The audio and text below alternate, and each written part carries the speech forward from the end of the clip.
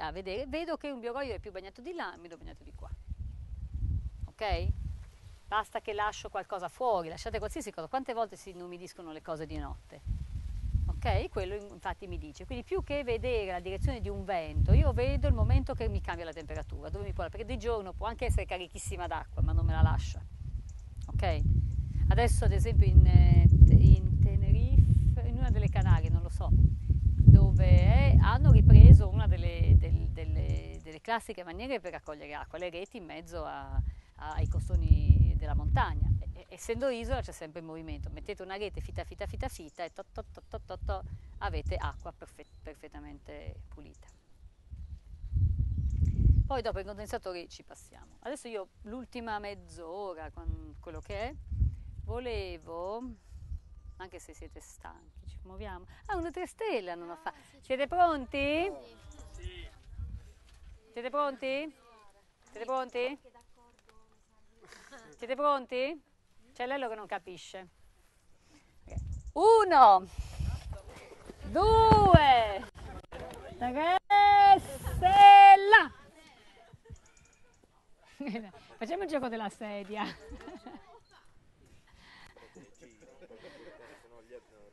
Anche io ho cambiato posto. Eh.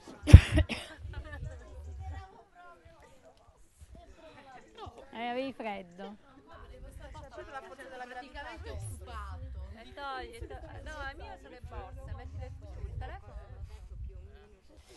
Allora, adesso, mh, mm, sempre per rimanere a livello mm, di comprensione, perché benché eh, uno continua a studiare la microbiologia del terreno, la fertilità, il come eh, tutti gli elementi che mancano, quello e quell'altro, un minimo di biodinamica l'ho seguita, è molto interessante, si può parlare per ore de, de, del silicio, di tutte le sue, insomma di tante cose.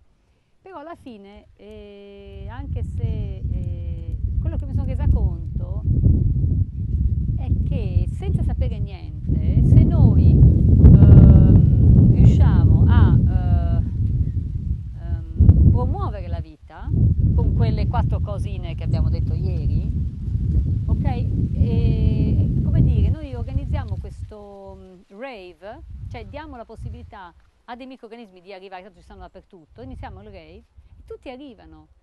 Okay? E quindi dopodiché ci sarà un riaggiustamento del pH, un, un, un, eh, arriveranno elementi che non pensavamo. Insomma, basta che noi diamo un minimo, ricreiamo questa differenza, diamo eh, la possibilità di fermentare aerobicamente, è ovvio che il rave inizia e loro godono e quindi si riproducono e quindi io ho fertilità del terreno, al di là del fatto che io sono attento, sono le...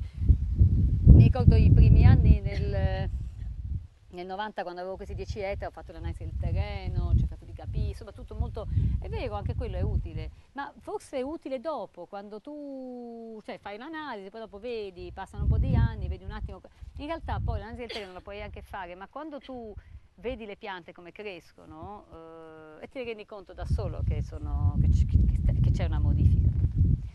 Quindi ehm, cerchiamo di di capire che cosa è successo un miliardo, 3, 2 miliardi di anni fa, 2 miliardi e mezzo di anni fa. Ok? Vabbè, facciamo un viaggio nel tempo all'indietro e cerchiamo un attimo di capire.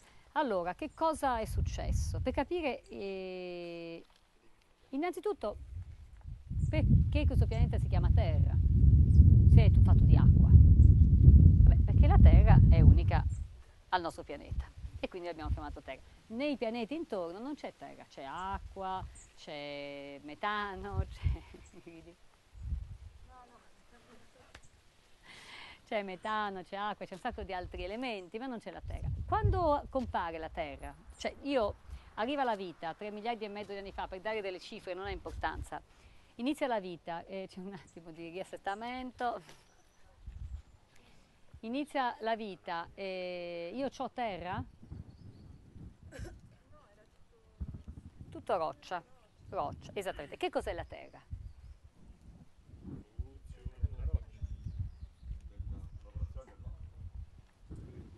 a livello inorganico sì. Ma Intanto diciamo che cos'è la terra così sapete anche che cos'è. La terra, come la definiamo noi adesso terra, mm, è una- un complesso che è fatto di una parte inorganica e di una parte organica. Quindi senza vita la terra non c'è. Senza la vita come la conosciamo noi la terra non c'è. Ok? Quindi poi andiamo a vedere tutti i, i tutti, no, non andiamo a vedere, alcune delle funzioni che la terra può avere per capire come proteggerla e come farla. Ciao!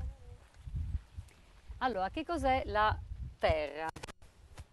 La terra è un complesso che ha una parte inorganica. E che cos'è la parte inorganica? Quello che avete appena detto, cioè il lavoro del fatto che, essendo l'acqua solvente universale, essendo movimento, sgretola, fa, disfa, quindi sgretola, eh, ci sono materie sempre più fini, sempre più fini, sempre più fini, fino ad arrivare al materiale più fine inorganico, che è l'argilla.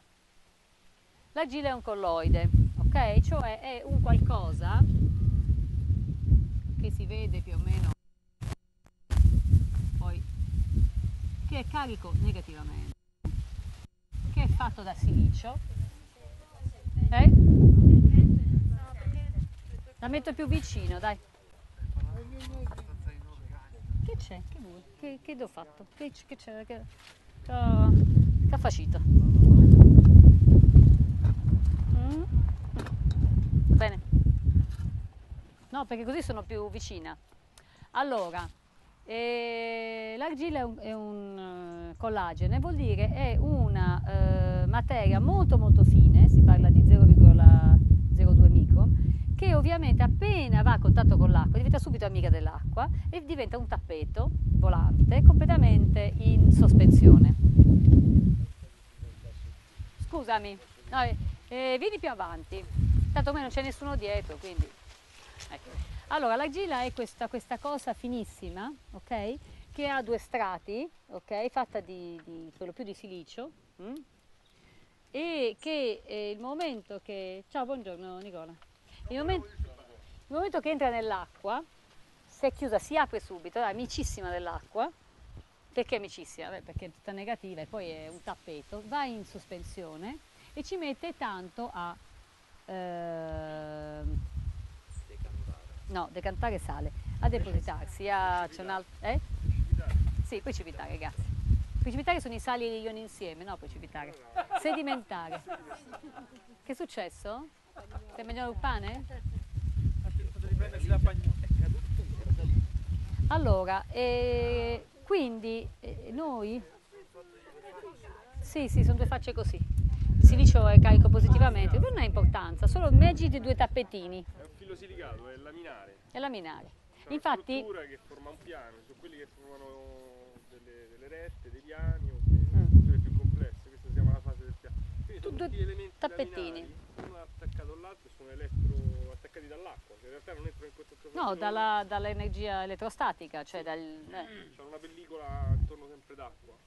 Quindi E- un'attrazione. E quando tu infatti li tocchi l'argilla, a differenza del limo, anche il limo è piccolino, tu dici ma eh, delle volte hanno gli stessi colori, no, il limo è un'altra cosa, è molto più grande, ok? E, e non, ha, e non è viscido, l'argilla è viscida, tu la, ah questa, questa terra è porcina dicono da noi, cioè vuol dire c'è l'argilla e, ti si- ed è è la sua qualità anche di cui Stefano parlerà per la costruzione, no? Tu, la- allora praticamente tu hai, allora, eh, aspetta, vai in sospensione. Sì, Ok, vai in si sospensione. I setacci o le cose, la, la roccia viene, eh, viene setacciata fino a una certa granulometria, come ghiaia, sabbia. Poi superate le sabbie Limo. e limo, E poi, per il limo cioè- l'argilla si usa un'altra tecnica, non è il setaccio meccanico, ma la decantazione in acqua. infatti praticamente per vedere la quantità che hai di limo, sabbia, eccetera, tu metti un, un- po' di terra nell'acqua, la metti in sospensione, bello, bene, bene, e poi dopo le sabbie scendono subito. Il limo ci mette due ore, ci sono delle argille che ci mettono 70 anni. Ovviamente il giorno dopo guardate a vedere, se no Soluzione. restano in soluzione. Aspetta che vado a prendere un cumulo di una manciata di terra. L'humus che cos'è? L'humus è praticamente eh, casca una foglia, cascano un setto, i batteri lo mangiano, e poi le amebe, poi i funghi, poi tutto quello che mangia, eccetera. A questo punto tagliano, degradano, cioè degradano, metabolizzano, abbiamo finalmente l'elemento che è libero, diciamo, e può essere assorbito dalla pianta. Quello è organico, quello è la parte di humus. Che... Ora, questo, noi chiamiamo terra un complesso, ok? Argilla umico, che, ha, eh, che generalmente, ma non sempre, sono due parti negative, che generalmente viene eh, mantenuto dal calcio, che li mantiene insieme. Allora, adesso abbiamo visto un attimo, la mettiamo da parte questa definizione di terra, per riuscire a capire già che quando è arrivata la vita su questo pianeta non c'era terra. Ok? E quindi andiamo a vedere. Il primo miliardo di anni la vita è rimasta dentro l'acqua e quindi non c'era terra. L'acqua aveva a disposizione tutti gli elementi minerali, oligominerali a disposizione. Sono in, in, in no, i minerali sono in soluzione. Che I minerali in soluzione precipitano. L'argilla in sospensione eh, no, flocculo, sedimenta, sedimenta.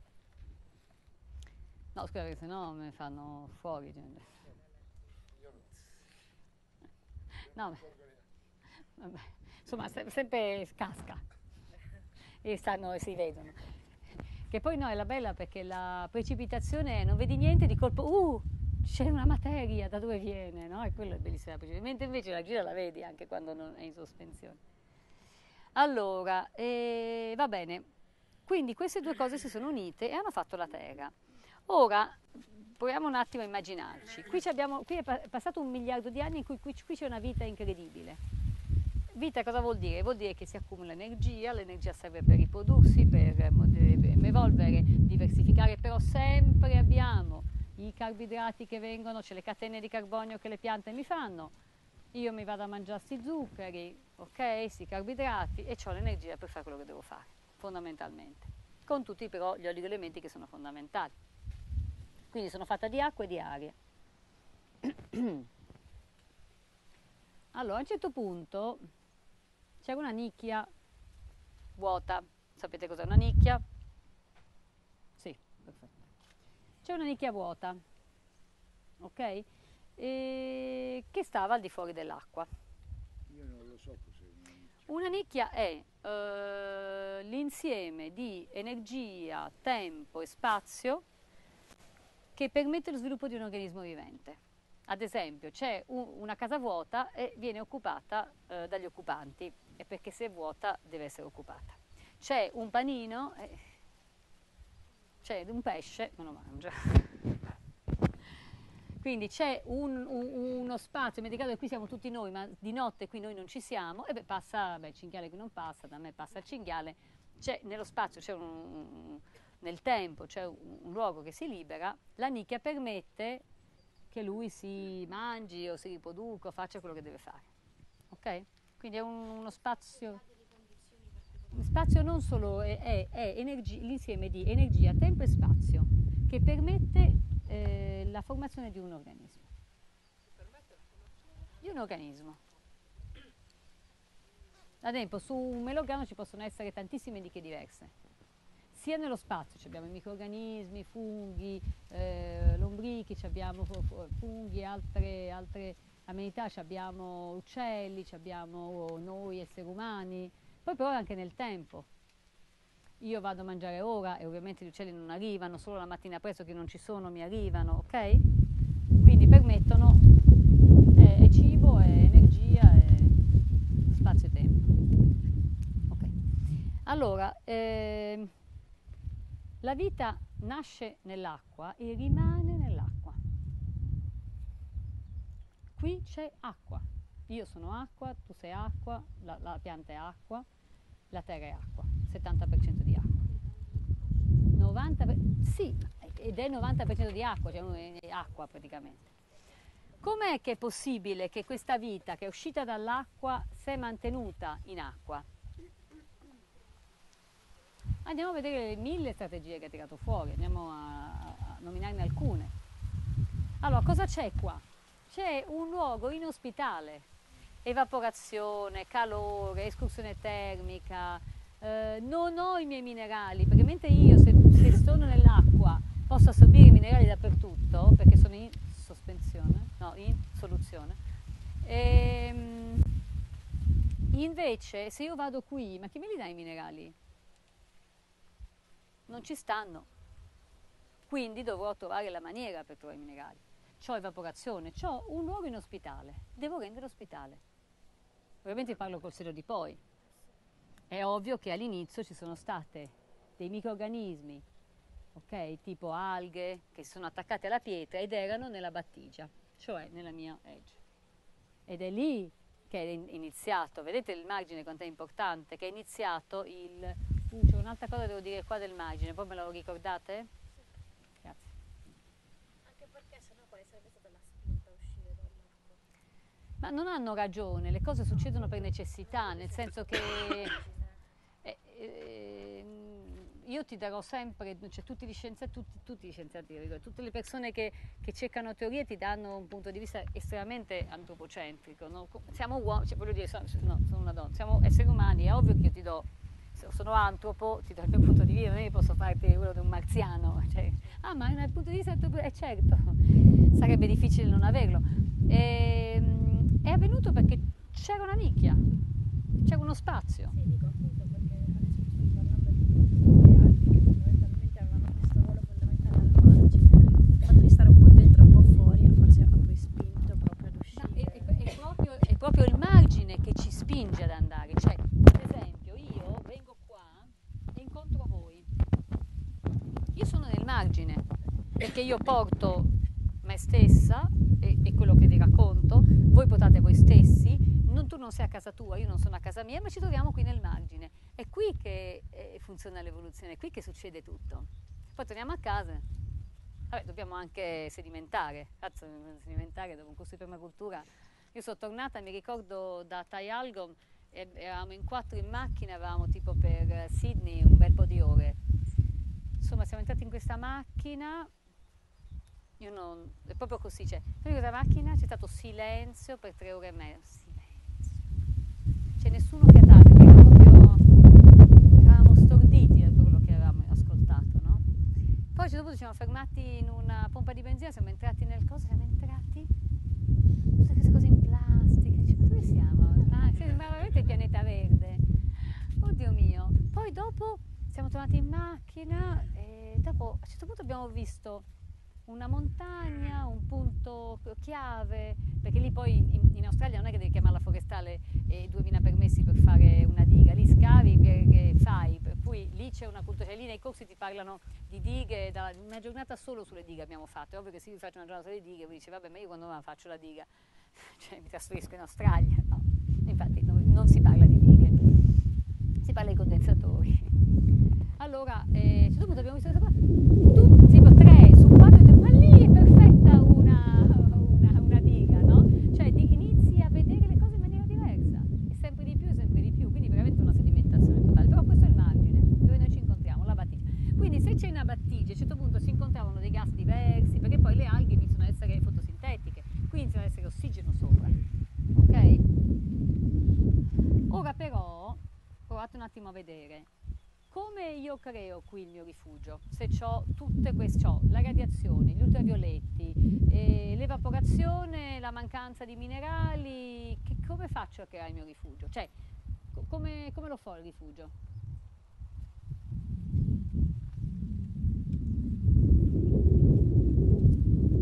Come faccio a ricreare questa vita nell'acqua, che è sempre nell'acqua, che rimarrà nell'acqua, che non, non conosciamo vita al di fuori de- dell'acqua? Eppure siamo qui che ci sembra di stare... Eh?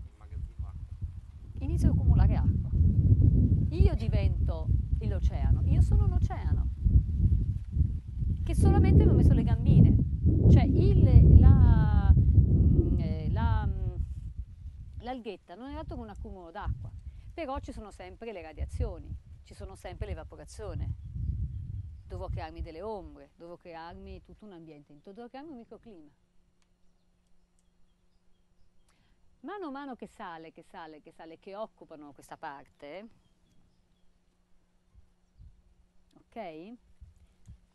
Ecco che c'è l'argilla presente, c'è il resto presente, si uniscono queste due, questo complesso è debolissimo. Vedete che la vita è l'acqua umile, non ha forma, si applasta dovunque c'è, ehm, si adatta, eccetera. In realtà ha una forza enorme perché la- l'acqua, l'acqua non si inquina mai, non vi preoccupate, non si inquina mai, perché l'acqua come molecola per romperla ci vogliono 300 3600 gradi centigradi per togliergli un braccettino completamente, cioè non modifica, quindi ha questa capacità di passare attraverso la merda piuttosto che le rose dal letame e uscire inalterata. Ce la si pulisce rapidamente bellissimo questa cosa, perché non- lei dentro non modifica, come noi, no? Che se fossimo veramente sereni e pas- potremmo andare anche a dormire a Romanazzi, eppure rimaniamo inalterati con 2000 asciugamani, 42 lenzuola, 4 cuscini, eh, la televisione nera, però rimaniamo, tentiamo di rimanere inalterati. È così. Eh, e godiamo di Romanazzi, perché no? Una, una colazione fantastica, ci vogliono eh, sorriso. Allora, quindi che cosa succede? Succede che questa roba qua, che non è vita, ma è fatta di vita e non vita, inizia a, cap- a farci capire che questa qui è il sostitui- sostituto dell'acqua. Perché? Cosa fa la terra? Cosa fa l'argilla che è così, che l'ha detto adesso Michele? Appena gli dai l'acqua, cosa fa? Quindi è un ottimo accumulatore d'acqua, è una spugna. Cosa fa l'humus? Anche lui, ok, ok. Quindi riusciamo a portarci un po' più l'acqua. Oltre a noi esseri viventi avere tutta quest'acqua, però dobbiamo anche averla come, non nelle nostre case, cosa che succede dopo che abbiamo usato il cemento, perché il cemento non traspira, è argilla il cemento, quindi assorbe l'acqua e te la trattiene lì, è tossico, crea i funghi, ti crea problemi polmonari. Cazzo, si usava la calce eh, spenta, la calce idraulica che traspirava, che era perfettamente pulita, igienica, non si usa più. Ok, allora, mm, ok, quindi lei si gonfia di acqua, va bene, poi cos'altro ci serve qui?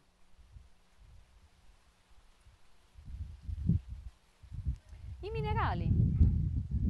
Uh, abbiamo un accumulatore di minerali che me li mantiene lì, perché non ho io il contadino che va a mettere il minerale in soluzione nell'acqua e lo dà alla pianta, eh, quello è come se fosse il pesce, ce l'ha in soluzione, assorbe quello. No, qui dentro non c'è acqua liquida, dentro i sistemi selvatici. Come faccio io a prendere questi minerali?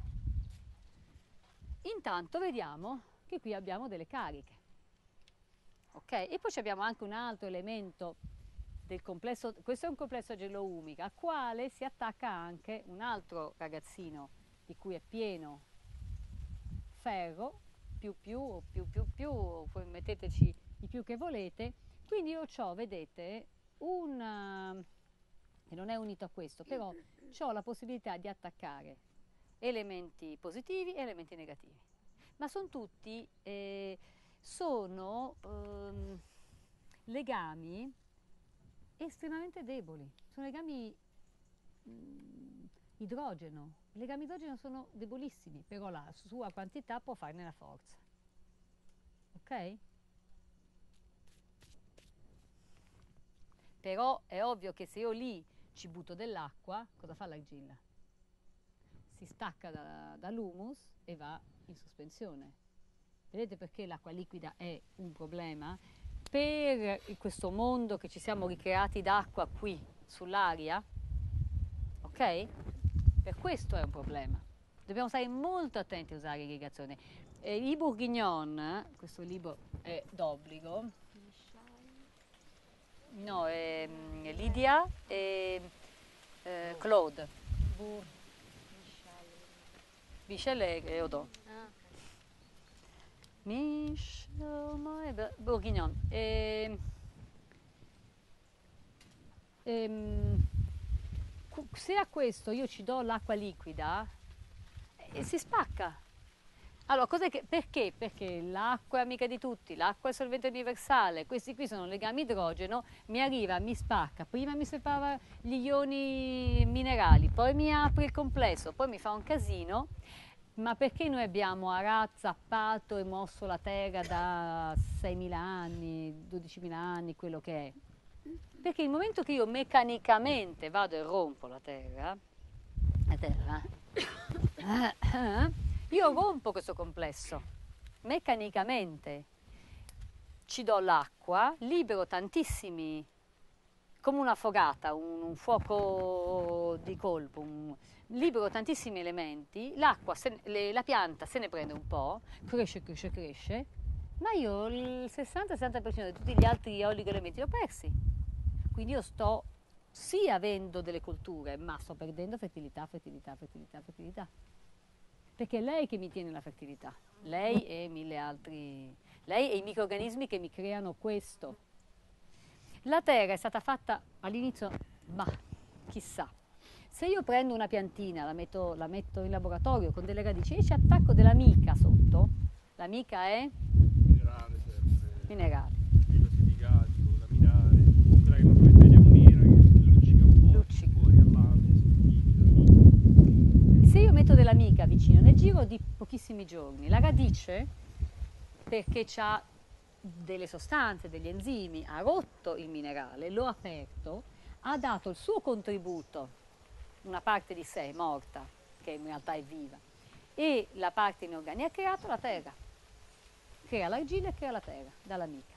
Quindi le radici fanno terra. Allora io vi posso dire una frase che dico sempre, ultimamente, che dico una pianta non ha bisogno né di acqua né di terra. Si raccoglie la sua acqua attraverso le foglie, il suo sistema, si, si fa la sua terra con le sue capacità. Però questo geologicamente era all'epoca, all'epoca le prime mm, alghine hanno fatto la terra, non sono loro, era una conseguenza. Cioè, abbiamo un rifiuto, ta, è venuto fuori qualcosa di buono, vedete? Ta, ta, fate dei rifiuti una risorsa, sempre, perché sennò avrete inquinamento. E non come la camorra, per favore. Non bancario, è una risorsa di altro tipo. Allora, quindi, vedete che bellissima questa cosa, mi piace proprio tanto, perché inizio veramente a cioè quando io ho, ho sentito questa, l'ho pensata, eh, ce l'ho dentro il modello, cioè io sento proprio questa cosa di questa vita che cerca di proteggersi, di, di- di mantenersi liquida, di mantenersi umida. Allora, questi qui vanno qui sopra. Prime, adesso in questa epoca geologica, vedi che poi cambia sempre. Chi è che fa la terra? Principalmente chi è che fa la terra? Quali organismi fanno la terra? Principalmente, oltre le radici, i microrganismi, tutti quanti, eccetera. Chi è che contribuisce maggiormente alla produzione? I lombrichi e le formiche. Loro sono quelli che in questa epoca fanno il 60-70% di... e Darwin l'aveva visto. L'animale più amato da Darwin era lombrico e lo ringrazia anche per aver coperto i resti eh, eh, archeologici che così si sono mantenuti. Perché è l'ombrico che va. L'ombrico cosa fa? Scende. Vi ricordate che vi ho fatto uno, uno dei tanti stratificazioni della terra. Quindi abbiamo la lettiera, l'humus, la terra e l'argilla. Non è sempre così ovviamente, qui ancora meno. Però che cosa fa il lombrico? Il lombrico scende, mangia l'argilla durante il giorno, risale, mangia l'humus eh, durante la notte, caga terra. La formica, se voi vedete le, le- le casette delle formiche, hanno quelle pallottine, loro non la fanno mangiandola, loro lo fanno con il loro, li- col loro liquido, perché lo- le formiche sapete mangiano solo liquidi, non mangiano sostanze dure. Quindi loro entrano dentro la terra per scavarsi e, e loro poi hanno una fattoria, le formiche, hanno funghi, hanno microrganismi, loro coltivano, fermentano, fanno- fanno- hanno delle cucine, delle- dei laboratori incredibili sotto. Quindi loro scendono, scavano perché devono farsi un'ultima cantina con l'ultima fermentazione, probabilmente anche alcolica, perché è sicuro, posso credere se non ce l'ha. Scavano, eh, nella- nel- portano questo pezzo di, diciamo, di minerale in bocca, il quale si mischia e lo depositano grazie alla loro, lo fanno unire e lo depositano come sotto forma di terra. Quindi la terra è fragile e forte, l'acqua è umile potentissima. È su, questo che, su questa dicotomia si dice che dobbiamo lavorare. Quindi, mm,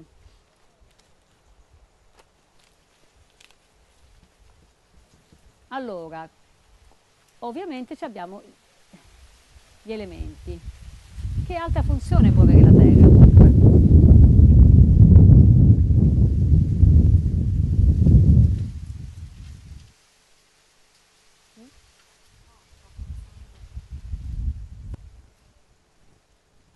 Detto che questo luogo inospitale ha tante forti energie, tra l'altro gli ultravioletti.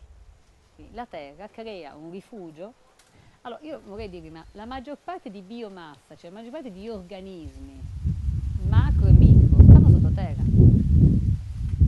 Cioè, qui noi siamo i pochi che rimaniamo, infatti siamo un po' così. In realtà la maggior parte di, di- di organismi stanno qui sotto, in quantità ok?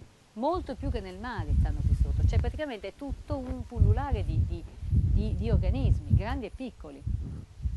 Allora, eh, è ovvio che praticamente io cosa, cosa ho fatto con la terra? Io con la terra mi sono costruita la mia grotta, in fondo noi anche abbiamo vissuto nelle grotte tanti anni, adesso l'Earthship è praticamente una casa dentro la, la terra. Questa cosa qui crea una protezione a che cosa? Agli ultravioletti, ma anche al calore. Ok? E chissà, fra un altro miliardo di anni ci sarà un'altra cosa, che sarà la plastica trasformata che ci aiuterà a creare un altro ambiente, perché noi siamo naturali, io non posso pensare che quello che noi produciamo sia non naturale, è sicuramente parte del pianeta. Se il pianeta lo pigliamo come quasi chiuso, escluso il Sole e le comete che si rompono e che lasciano acqua a 10.000 km di altezza e, e- e tutto il resto di informazioni che ci arrivano, quindi chiuso il cavolo, ma insomma tutto quello che noi, ok? Eh? Anche Roca- sì, insomma, di, gli, gli etruschi di reazione coniuga ne sapevano benissimo, cioè trovavano luoghi... Ma perché dobbiamo, perché dobbiamo resistere noi? La vita resiste. E noi che ce ne importa? Facciamo i romantici, eh. Però tu dicevi tra qualche miliardo la plastica, gli altri, Eh, la plastica resta perché la plastica durerà un bel po', eh. È come l'ossigeno, cioè, certo, è arrivato l'ossigeno e sono morti quelli che non ce la facevano, si sono protetti.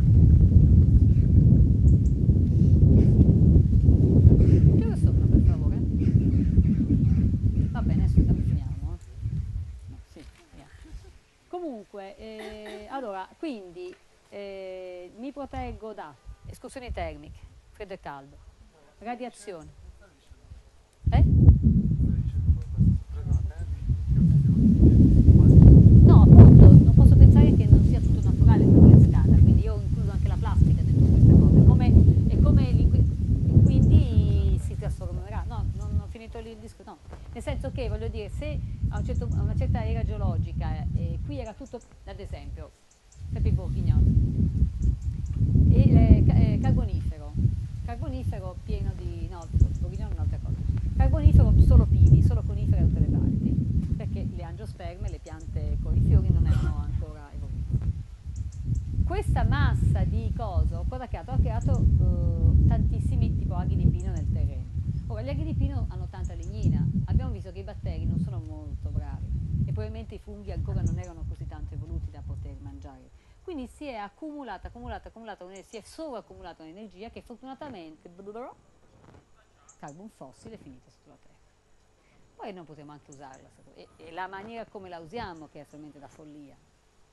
Ma non è che non possiamo, è, è una che si è accumulata, che in quel momento lì non c'era nessuno che la sapeva usare. È carbonio, carbonio, fossile. Fossile cosa vuol dire? Fossile cosa vuol dire? Eh?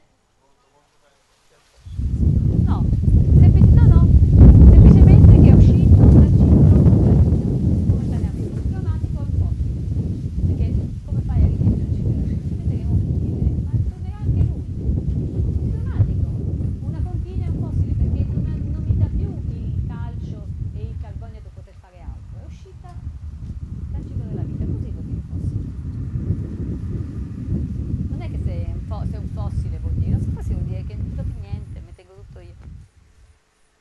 fissa, non sono dentro insomma, nel- in questo scambio continuo di elementi. Tan, tan, tan.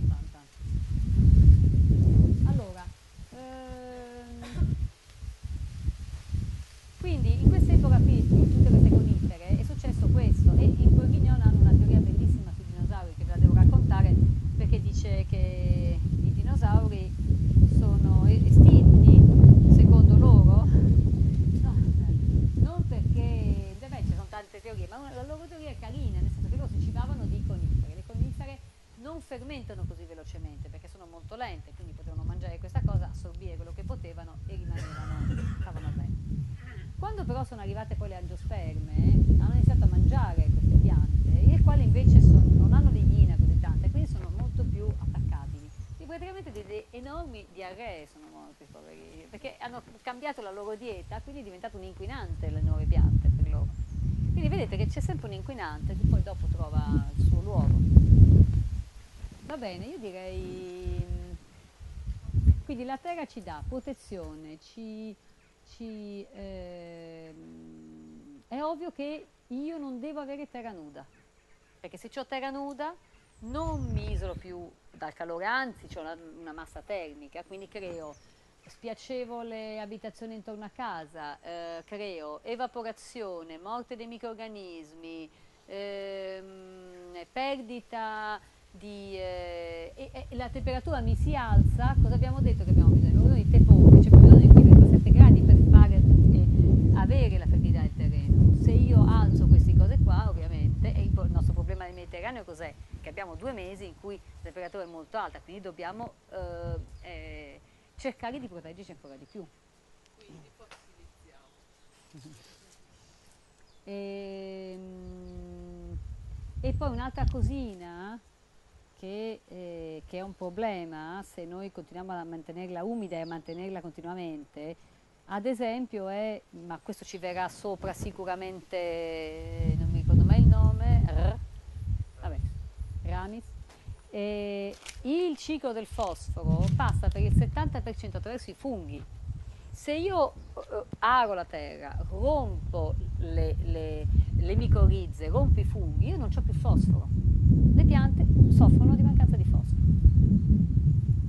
E allora è ovvio che devo andare a comprarlo, a sprecare la mia energia, a metterlo nell'acqua, a versarlo sopra, a perderlo, a creare problemi alle falde sotto, eccetera, eccetera. È tutto un lavoro, stanchezza, fatica, malattia. Io ho lavorato sul cancro, cioè voglio dire, perché dobbiamo finire sempre ad ammalarci? Solo per un sistema che già funziona, solo bisogna un attimo osservarlo e, e farlo funzionare lui, come, come ho cercato di fare con mia figlia.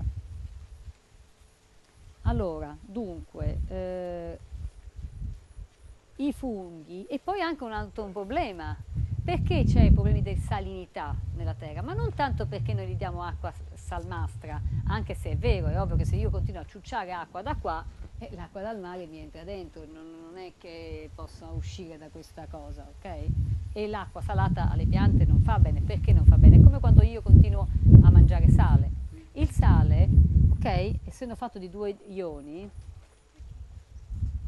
ok, andrà subito in ehm, soluzione. Quindi io mangio e nello stomaco mi va in soluzione, viene assorbito dai villi intestinali. Il sale non deve essere, i minerali non devono essere assorbiti a questo stadio, devono essere assorbiti a questo stadio, nell'ultima parte dell'intestino. Quindi io devo mangiare un complesso che è fatto di proteine, eccetera, eccetera, carboidrati, in cui ci sono degli elementi minerali intorno, che quando mi arrivano nel stomaco non sono liberati, io non li posso assorbire, ho bisogno di fermentazione, prima aerobica, poi sempre più anaerobica e questa fermentazione si deve fermare alla prima parte dell'intestino, perché se io fermento nella, nella parte bassa vuol dire che non sto mangiando correttamente. Perché si deve fermare? Perché se io arrivo all'ultima parte dell'intestino con un bollo alimentare che ancora non è scisso, come cazzo faccio a prendere i minerali? E parlo delle cose più importanti, non tanto di un cloruro sodio che tutto sommato, ma parlo di, di eh, tutti gli altri minerali, in oligoelementi, magnesio, manganesio, di tu- tutti, di cui ho bisogno di poco, abbiamo visto che siamo, non siamo, siamo fatti di aria e di acqua, ma, ma Se io non li mangio, ah, l'integratore alimentare in farmacia. Ma cosa vuol dire andare in farmacia per l'integratore? Eh, perché io vado in quell'erboristeria figa, tutta così, mi danno questo. Vuol dire che dietro c'è un'industria, un trasporto, un camion, gente che fa un lavoro che non gli piace, un costo energetico altissimo, un'estrazione, un inquinamento. Quando io invece basta che prendo delle... Perché le verdure selvatiche sono saporite? Perché sono piene di oligoelementi. È l'oligoelemento che dà il sapore al cibo. Io posso anche coltivare biologicamente, ma se io faccio in monocultura, eh, il sapore mi va via. Ok, non ho le cose, ma, ma non ho gli oligoelementi o non ne ho a sufficienza. Quindi io bisogno di oligoelementi come la terra, io sono la terra. Un organismo si è fatto la sua casa a sua immagine e somiglianza, perché è da lì che deve prendere questi oligoelementi. Ok?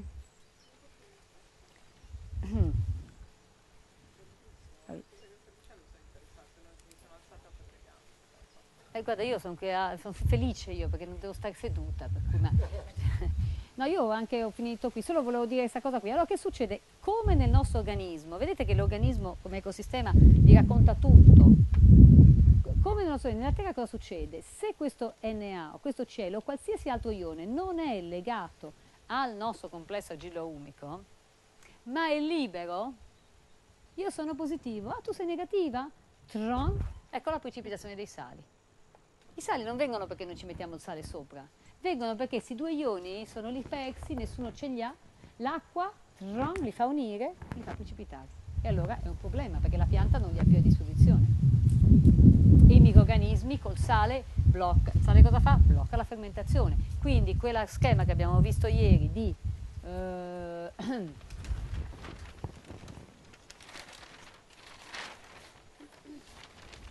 Dove sei, Caro? Sì, no, lo scotch lo vedo, ma sto cercando la pagina anche. Oltre allo scotch che mi blocca, quello, eccolo qua, che abbiamo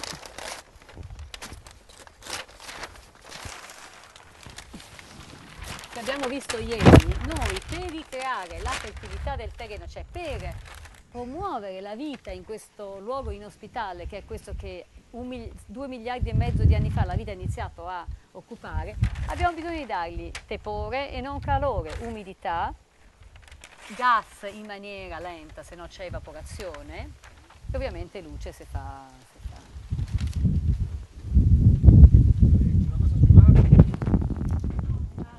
Ci devi raccontare una cosa sui margini? ma- Ah sì, ma ci avete pazienza? No,